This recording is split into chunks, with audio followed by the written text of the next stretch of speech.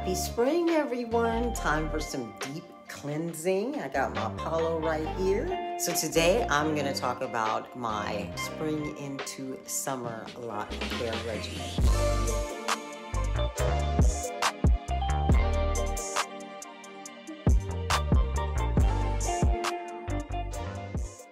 First, just gonna give you a little background about my locks. I started them three years ago, 2-2-2020. I started them with two strand twists. I have either 79 or 80 locks. I counted them twice and got two different numbers. My locks matured at about 18 months. I didn't retwist my hair for seven months and just retwisted it yesterday.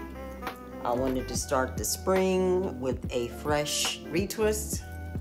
So yeah, that was what I did. And this is what it looks like.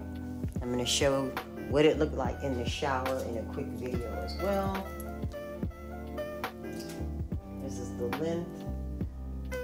I will say I will never go that long without a retwist because it's unnecessary. It was painful. I had to go really slow. My parts are not as clear as what they used to be and sharp because I do my own retwist. I may schedule to have somebody else do my retwist just to get my parting right again, but then again, I may not. I'm not sure. I didn't really see any pros to waiting that long. I really waited that long out of not doing a retwist a priority because I do keep my locks super clean. That is my focus. My scalp stays super clean. And I'm gonna go over what my winter regimen was and the difference that it's gonna be now that we're getting into a warmer season. So I use the Taliah Waajid Herbal Stimulating Shampoo. It is green and it is my favorite. It gets my locks super clean, my scalp tingles. I love it. Black owned company as well. I use a moisturizing conditioner. As long as they're salon quality, I'm game. I use spring water in a fine mist spray bottle for moisture. And I use avocado oil to seal the length of my locks only. I never put any type of product in, outside of when I retwist my hair on my scalp. I used Taliah Waajid's tight hold to retwist the scalp and then I always retwist from top to bottom, like I wrap the hair all the way around. That's why you don't really see a lot of frizz.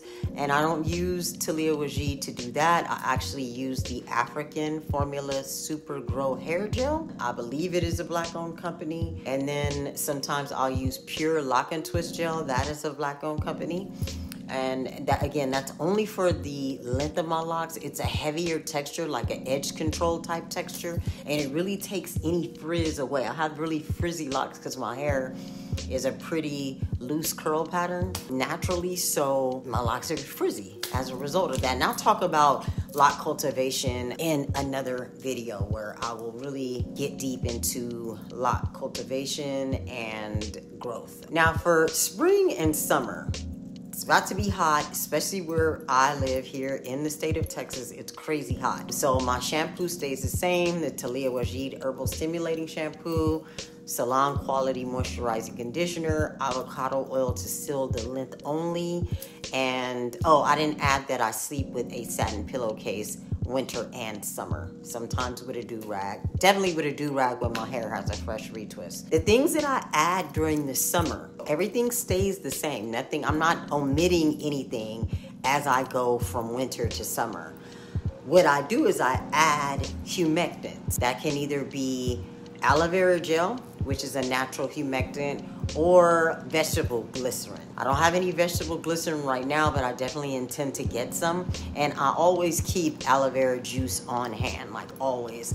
So instead of using spring water, I usually tend to change it to aloe vera juice during the summer months because like I said, it can work as a humectant and what is a humectant? It is a natural product that draws moisture from the air to your hair. The reason why I don't use humectants during the winter is because it has the opposite effect and can dry your hair out during the colder months. But in the summer, adding that humectant is A1 and my locks stay so soft, so supple. They are not stiff. They have a whole lot of movement because I don't use a lot of product and because I am super, super, super focused on keeping my locks clean.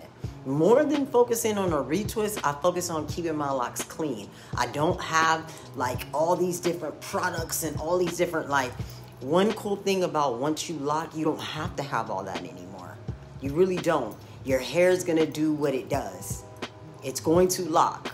And as long as you trust the process and allow it to do that, you're gonna be fine. I wear head wraps winter and summer. For the winter, I'll usually wear a heavier head wrap if it's cold. During the summer, I'll use a lighter fabric. I like to cover my locks in any type of extreme weather. So if it's extremely cold outside, 30 degrees or less, I'm gonna have my locks covered up with a head wrap.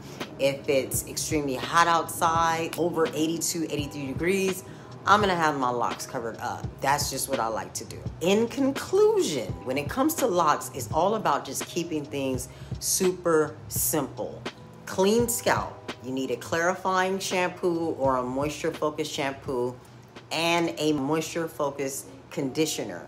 Both need to be rinsed out extremely well so that there's no product that can weigh your locks down. Have a sealant oil. My favorite is avocado oil. I love the softness that it gives my hair. If for any reason I don't have avocado oil, cold pressed extra virgin olive oil is without a doubt my next go-to sealant oil. I will be retwisting every 8 to 12 weeks. That's that's basically what I'll do. Like I said, I'm not gonna ever go as long as I went. A part of the reason why I went so long too was because I am a hairstylist and it's unfortunate that because I do hair every day, mine tends to take the back seat when it comes to grooming. Doesn't take the back seat when it comes to care, but when it comes to those retwists, I do not look forward to it because I do my own. So because I do my own, I'm always like, I want to put it off, put it off, but I just put it off way too long this time. Not gonna do it, don't recommend it. The most important thing that I learned with my journey is to just allow my locks to do what they're gonna do. I never had like a preset look that I wanted my locks to have. I knew that I wanted thick locks, but I wasn't like, I want my locks to look like hers. I really went into it knowing that this is going to be a journey that is very unique to me and what my hair looks like and I think that that's really helped me stay on and stay committed. So stay tuned for my upcoming video all about lock cultivation and growing strong, healthy locks, all right? See you in the next video.